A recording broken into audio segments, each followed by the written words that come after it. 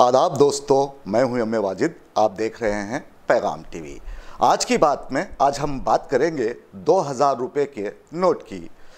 दोस्तों, आप सभी तो जानते हैं कि 2016 में इस नोट को हुकूमत ने मुतारफ़ करवाया था, जिसके बाद के हालात आप सभी जानते हैं। क्योंकि जब ये नोट कोई आदमी किसी दुकान पर ले जाता तो पहले दुकानदार उस नोट को देखकर शदीद तौर पर बरहम हो जाता। और उसे बड़े ही खूबसूरत अंदाज से देखता, उसकी जाँच करता, उसके बाद चिल्लर ना होने का बहाना करके लौटा देता था। ताहम ये नोट चलती रही चलती रही। चार साल के अरसे में फिर एक मरतबा आरबीआई ने इस नोट को बाज़ार से हटा देने का ऐलान किया है।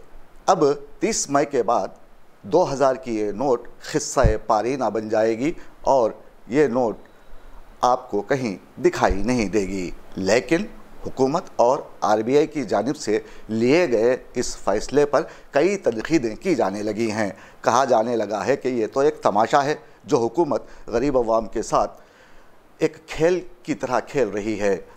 दोस्तों, मीशत किसी भी मुल्क के लिए रीढ़ की हड्डी होती है। इस तरह नोटों का तबादला करना, नोट, नोटबंदी कर देना, उसके बाद फिर नए नोट की छपवाई करना, इसमें करोड़ों का ख़र्चा आता है। ताहम हुकूमत की नासमझी की वजह से ये हालात रोनुमा हुए हैं। अब ये 2000 की नोट का हिस्सा है क्या, ये जानने के लिए देखिए हमारे नुमाइंदे मोहम्मद आसिफ की ये रिपोर्ट। हिंदुस्तान भर में अब दो हज़ार रुपये की नोट पर मुबासे होने लगे हैं। यार दोस्त, आपस में बात करते हुए एक दूसरे से सवाल करने लगे हैं कि अगर इसे बंद ही करना था तो फिर शुरू क्यों किया गया? वज़ी अजम मोदी जी की हुकूमत ने अपनी नौ साल मियाद में सिर्फ़ लोगों को मुश्किलों में डालने के अलावा कुछ नहीं किया। लोग परेशान हैं कि 2000 की नोट बाज़ार में आई, गरीब इन नोटों को हाथ में लेने से डरने लगे थे। अगर वो नकली निकली तो फिर क्या होगा? अभी चार साल का अरसा भी ना गुजरा था। कि अब इस नोट को बंद करने का ऐलान किया गया है। लोग पहले ही परेशान थे। नोटबंदी के बाद और परेशान हुए। मैं यहाँ अमीरों की नहीं, बल्कि गरीबों की बात कर रहा हूँ।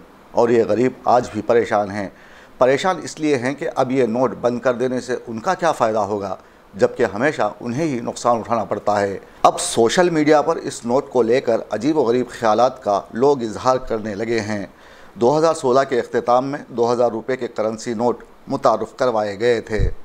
तो उस वक्त गोदी मीडिया ने इस नोटबंदी के इकदाम को खुश आइन कहा था और 2000 की नोट जो मोदी हुकूमत की काले धन को ख़त्म करने की बड़ी हमत अमली और मास्टर स्ट्रोक के तौर पर हुकूमत की सराहना की गई थी।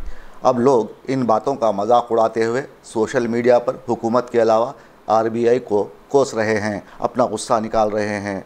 है ना ये मोदी जी का कारनामा कि उन्होंने अवाम को काम पर लगा दिया और लोग जो एक दूसरे को नहीं जानते, वो सोशल मीडिया पर लड़ रहे हैं और मोदी जी अपने हामियों के साथ कर्नाटक में हुई शिकस्त पर आँसू बहा रहे हैं। और बाद अफराद जो नखाद भी हैं और दानिश्वर भी, उनका कहना है कि देश की हुकूमत मुल्क को अंधेरे में गर्क करना चाहती है। हुकूमत की नीयत में खोट है। कर्नाटक में हारने के बाद 2000 के नोट बंद कर देने का ऐलान मज़ह का खैज़ मालूम होता है। ज़रूर यह किसी साजिश के तहत किए जाने वाला अमल हो सकता है। अब यहाँ गरीब और मुतवसत तबके को समझ लेने की ज़रूरत है कि अमीर अफराद यहाँ हमेशा खुश खुर्रम रहते हैं। परेशान अगर कोई होता है तो वो गरीब और मुतवसत तबका। उन्हें जान लेने की ज़रूरत है कि बार बार मुसीबत उठाने से बेहतर है कि अब हुकूमत को ही बदल डालें ताकि आने वाले दिनों में हमारा देश नारों और खोखले दावों में नहीं, बल्कि हकीकत में तरक्की की तरफ़ गामजन हो जाए। ऐसा तभी मुमकिन है जब मुस्तबिल में लोग कर्नाटक जैसे इंतबात को फिर एक मरतबा दोहराएँगे।